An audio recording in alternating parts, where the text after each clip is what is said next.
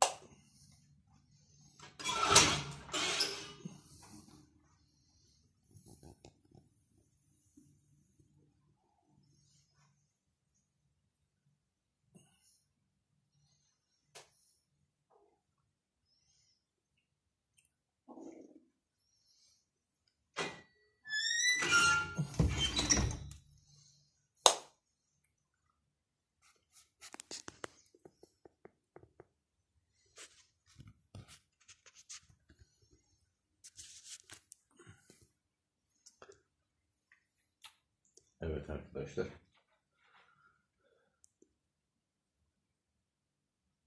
Bu da gariban sofra. Çukokure. Bu da gariban sofra.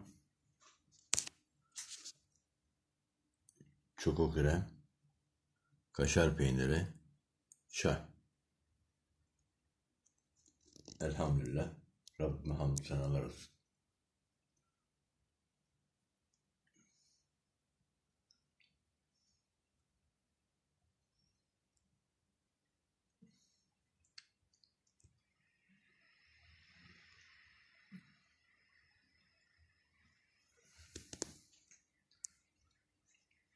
Televizyonumuz da var. Televizyonsuz kalmadık yani. Evet arkadaşlar. Rabbime hamd senalar olsun. Bu evdeki misafirliğimiz bugün bitti.